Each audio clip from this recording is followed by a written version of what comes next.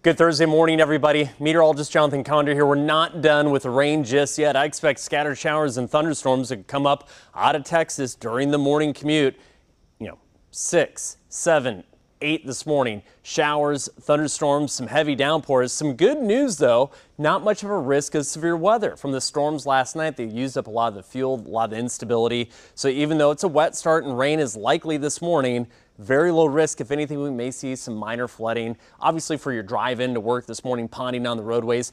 Now, there's still a chance of rain into the afternoon. We'll go 30, 40% chance. That's being a little optimistic, but just trying to get you ready for that. And again, the rain footprint this afternoon from noon to 6. Widely scattered showers and thunderstorms are possible without much of a risk. Highs today will be in the 70s, so that's not too uh, too warm, not as warm as yesterday.